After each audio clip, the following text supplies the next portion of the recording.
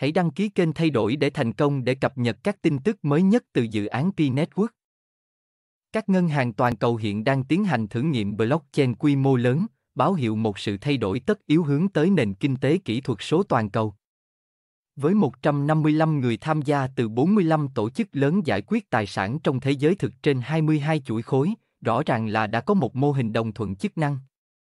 Các tổ chức tài chính lớn như Goldman Sachs, BNI Mellon và Que Global Market đã thực hiện thành công các thử nghiệm quy mô lớn bằng công nghệ blockchain. Điều này bao gồm thị trường Forex trên sàn giao dịch CBOE.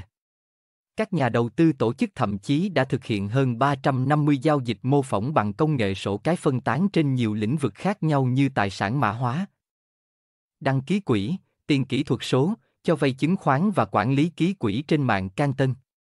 Sự tham gia vào các thử nghiệm này rất rộng rãi. Có sự tham gia của 15 nhà quản lý tài sản, 13 ngân hàng, 4 người giám sát, 3 sàn giao dịch và nhà phát hành Sabo Coipacosters. Mạng lưới Canton, bao gồm Deloitte, Toibo, Microsoft, Moody và S&P Global, tạo thành nền tảng quan trọng trong việc xây dựng hệ thống tiền tệ kỹ thuật số toàn cầu hoạt động. P-Network cũng đóng vai trò quan trọng trong việc chuyển đổi tài chính. Với nền tảng đổi mới của mình, P-Network nổi lên như một động lực chính trong việc đẩy nhanh việc áp dụng công nghệ blockchain trên quy mô toàn cầu. Với cách tiếp cận tập trung vào người dùng và tính dễ sử dụng, T-Network giúp mở rộng phạm vi tiếp cận của công nghệ blockchain đến nhiều tầng lớp xã hội khác nhau. T-Network đã tạo thành công một hệ sinh thái hòa nhập, cho phép cộng đồng rộng lớn hơn tham gia vào quá trình phát triển và phát triển của công nghệ blockchain. Thông qua khái niệm khai thác có thể truy cập thông qua ứng dụng di động, P-Network đã loại bỏ các rào cản kỹ thuật và tài chính thường cản trở việc tham gia vào nền kinh tế kỹ thuật số.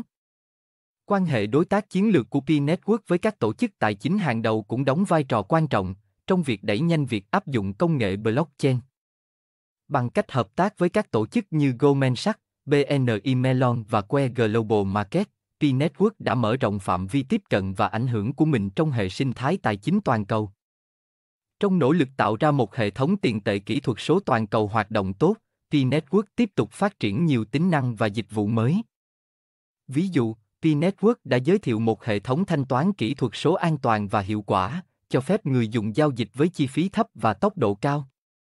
Hiện tại, Cotim đang trong giai đoạn cuối cùng của việc phát triển hệ thống thanh toán kỹ thuật số, Sabo Coin, hệ thống nhắn tin và các quy định về tiền điện tử để hoàn tất quy trình lập pháp.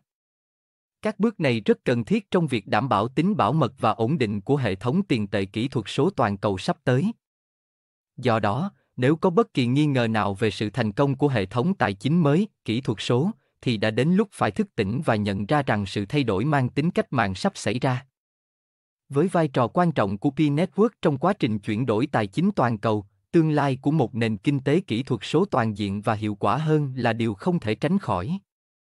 Hiện tại Pi vẫn chưa lên sàn giao dịch nên mọi người khai thác bằng cách kích tia sét mỗi ngày, hạn chế mua bán Pi ở các sàn giao dịch chợ đen tránh mất tiền oan. Chúc mọi người nhiều niềm vui trong cuộc sống, chúc cộng đồng Pi Network ngày càng phát triển và thành công.